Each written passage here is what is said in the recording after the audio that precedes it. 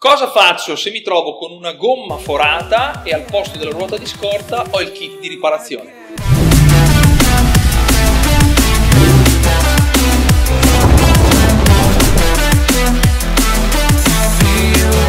Ciao, buongiorno Lady Car Friends, sono Emanuele, un meccanico cresciuto nell'autofficina di famiglia a pane, grasso per cuscinetti e frizioni al vapore.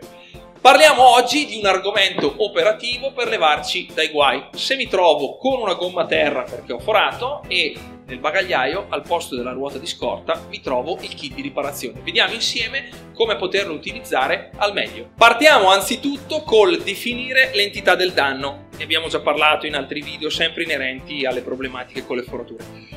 Eh, se ci troviamo di fronte a un danno importante del pneumatico, un vero e proprio squarcio dovuto a una buca importante in, in strada oppure ad un parcheggio in cui abbiamo sfiorato un marciapiede, allora in questo caso il kit di riparazione sicuramente non potrà aiutarci, l'unica possibilità è chiamare il carro attrezzi e farci venire a soccorrere. Nel caso in cui invece ci troviamo con la ruota sgonfia dopo una lunga sosta e quindi individuiamo uno, un oggetto estraneo, una vite, un pezzettino di legno o qualcosa, allora possiamo pensare di approcciarci a riparare la gomma con il nostro kit. Bene, vediamo adesso gli step per la riparazione del pneumatico. Step numero 1, individuo il kit di riparazione nell'80% dei casi è nel bagagliaio, al posto del vano ruota di scorta o ai lati, controllate dietro le paratie. A volte, come per esempio se avete una smart, eh, lo potete trovare eh, sotto i piedi del passeggero, sotto il tappetino, lì ci sono dei vani portaoggetti, spesso viene, viene locato in quella posizione. Step numero 2, individuo i componenti del kit di riparazione. Li vediamo insieme. Anzitutto il kit è costituito sempre e per forza da un compressore, qui ne ho un esempio, ce ne sono di diversi tipi, questo è proprio evidentemente un compressore, altri sembrano delle scatolette quadrate. Il compressore ha un'estremità il tubetto che ci servirà per gonfiare la gomma e dall'altra parte o ha i morsetti per attaccarlo alla batteria della macchina oppure la presa tipo accendi sigari.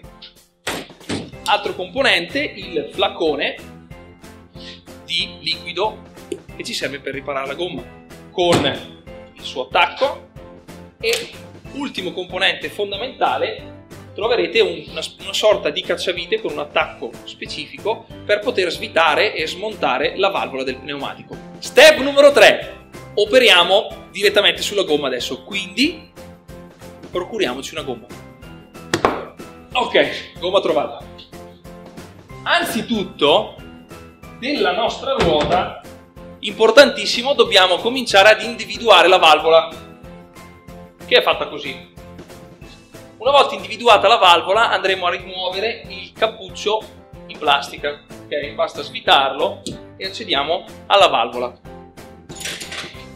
A questo punto prendiamo il nostro compressore e sulla parte dell'estremità del tubetto abbiamo un raccordo che si evita perfettamente sulla valvola della nostra ruota. Ora colleghiamo la parte elettrica del compressore, quindi come in questo caso andremo a collegarci al polo positivo e negativo della batteria, diversamente alla presa accendisigari all'interno della macchina. Arrivati a questo punto accendiamo il motore per dare la possibilità alla batteria e al motore di dare una mano al compressore, accendiamo il compressore e verifichiamo che la gomma piano piano cominci a prendere pressione, quindi si risollevi insieme a tutta la macchina. Questa è un'operazione fondamentale da fare, cioè il test di tenuta della gomma. Perché se colleghiamo il compressore, lo accendiamo e dopo 1-2 minuti vediamo che la gomma non prende pressione, probabilmente il danno è troppo grosso e comunque non riusciremo a ripararlo.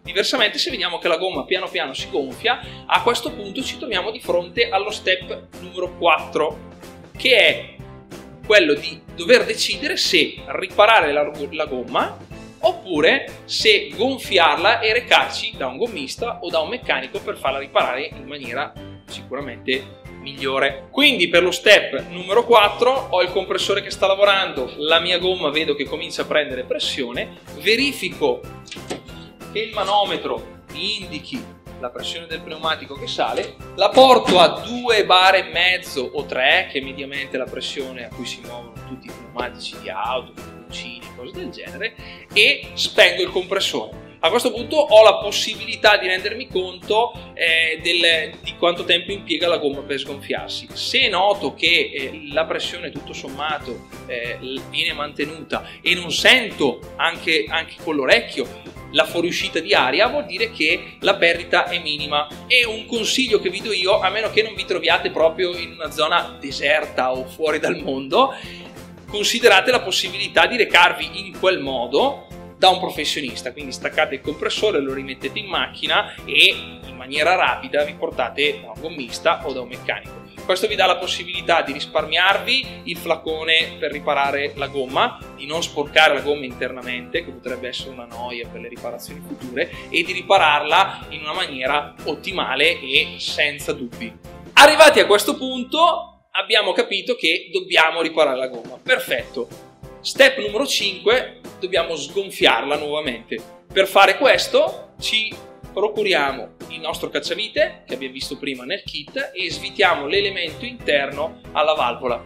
Questo farà crollare la pressione, attenzione a non perdere l'elemento che svitate, è un componente veramente piccolo e lasciamo sgonfiare completamente la ruota. Step numero 6. Con la gomma completamente a terra verifico che la valvola sia in una posizione alta perché a questo punto dobbiamo inserire il liquido presente nel flacone che sarà quello che si spalmerà all'interno della gomma e andrà a riparare il foro. Quindi è necessario che la valvola sia in una posizione elevata.